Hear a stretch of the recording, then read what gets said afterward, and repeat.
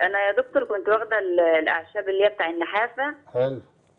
آه والمربى اللي هي بال- بالسمسم حلو. آه فعايزة أعرف أستخدمهم إزاي. عايزاك أنت تقول لي. حاضر. عيني.